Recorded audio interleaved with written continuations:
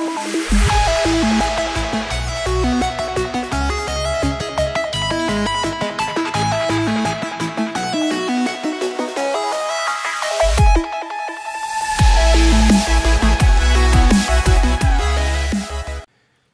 everyone, I'm back with the next update for the uh, Infinity Sun Jar. And I got the new circuit boards in, and they are really small. Look at that U1 right there, the five pins. You can, it's gonna be fun soldering this. This is gonna be the first time I've done full SMD, except for six pins, as you see in the back. That's all that goes through it. One for the uh, LED itself, and then one for the supercapacitor and one for the solar panel connection. Everything else is all surface mount. So I'm going to turn the camera around and you can watch me uh, solder this up and then we'll test it and see if I got it right. Okay, I got the board taped down so it won't move on me. And if you look over here, I got all my components. And you can see basically how small they are in relation to that standard LED there. I got my trusty new Hakko set up.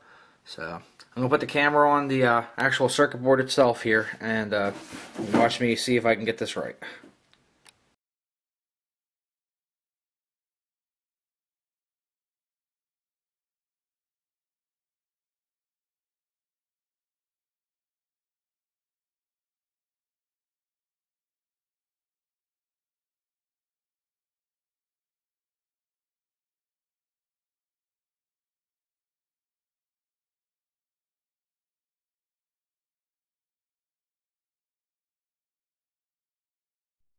Okay, I cleaned off all the uh, leftover flux on the board, plugged in the supercapacitor, plugged in the solar panel, and just to save time, I charged up the uh, supercapacitor with two AA batteries, just enough so I can hit the one volt threshold, so that the um, boost boost chip actually kicks on.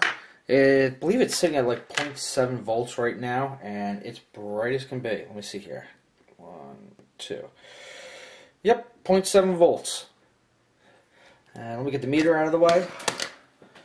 And we're just going to use a uh, little flashlight here to uh, simulate sun.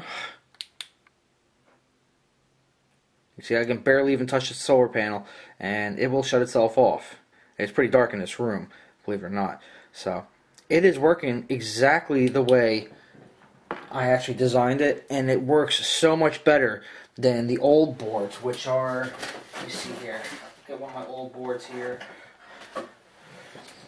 If you remember these, had all the transistors that was running it and the one big inductor. Never worked very well. So now we're going to go with this whole system. I'm going to zoom in on the final product here for a second. Let's see here, telephoto. And see if I can have a steady hand. There you go. That is the final product.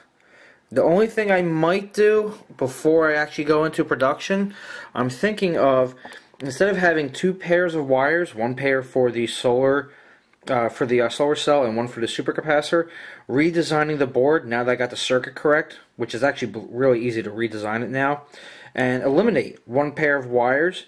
Instead of having a uh, square or a rectangle board, I'll make it so that it's round and actually sits right on top of the uh, supercapacitor and basically holds on by the two pins of the supercapacitor itself.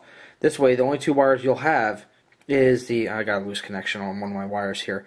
The only two wires you'll have is for the solar panel itself. So that eliminates a little more guesswork and makes it easier. So I'm going to make a decision on that in a few days. I'm going to jump back onto uh, the KiCad, which is the uh, software that I use to design this circuit, and see if I can redesign it into a circle that will fit right over top the supercapacitor. And that'll make it easier for me, it'll make it easier for everyone else. So, thanks a lot for watching. If you have any comments or questions, feel free to leave it down in the comments area and always read my description area. I always put more information inside there. Thanks a lot, and uh, I finally made it work!